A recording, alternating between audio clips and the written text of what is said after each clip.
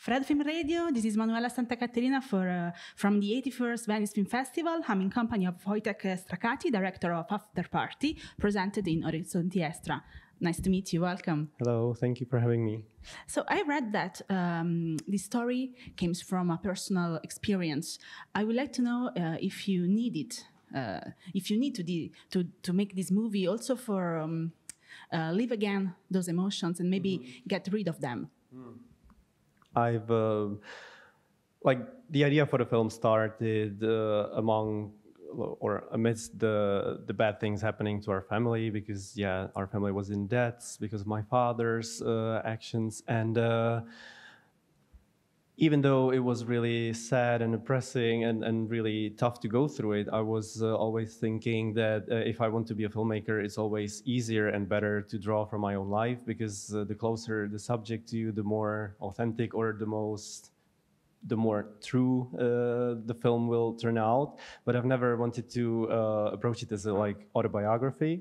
So I wanted, the, as I make fiction, it's always for me to uh, better to create a, a, like a unique fiction story. So I wanted to just take elements that happened in real life to me, and uh, yeah, create this one one day of my heroine. But all of these were made up but just yeah filled with details of my own life that I've been through that I knew well and uh, because in uh, in real life things are so complicated that it would never translate well in, in, in, in film it would be too complicated for the viewers so so you have to make it yeah just make it differently so yeah so I, I yeah I wanted to to make this film inspired by my life. I've never thought of it like as a therapeutic way or just going through it. Like obviously, some of the uh, things I've been through are the ones that we were shooting. Uh, but I, I was, I, I, was mostly fine with it. I've, I've never like lived through it again during the filming, uh, filming process or, or, or,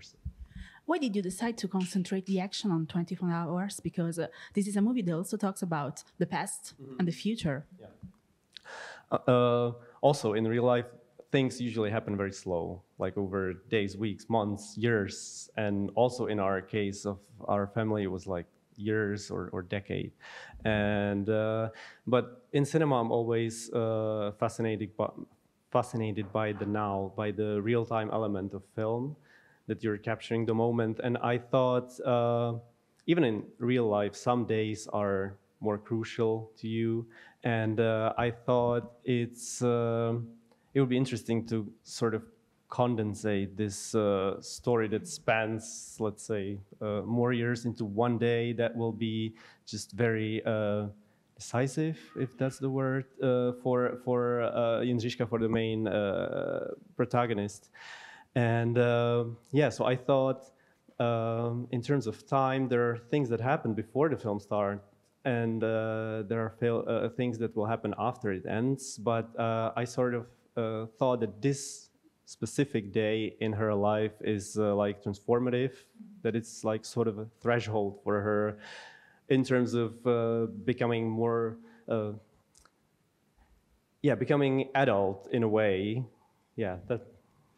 And even if the world of the main character falls apart, you decide to uh, maintain a tone not so dramatic. And I also think about how you use the light because this is a movie full of light. Mm-hmm. I would like to know why you decide to um, use this duality. Mm-hmm.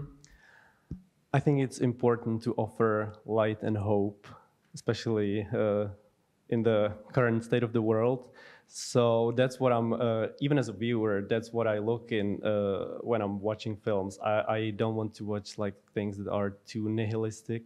I, I, think there's a lot of it in the world, and I think cinema can uh, offer us so at least spark of hope or or spark of lightness. And uh, for me, it was always uh, a film that was that should have this summer vibe, you know, um, coming of age buddy movie elements that were contrasted with the family drama because I've seen many family dramas and, and they are usually heavy and depressing and so and I didn't want the audience and, and myself uh, included to be only depressed so I thought yeah let's just uh, try to balance these two uh, en energies yeah Thank you so much, Vojtěch Strakatý and Manuela Santa Caterina for Fred, the Festival Insider. Thank, you. Thank you so much. Thank you. Thank you.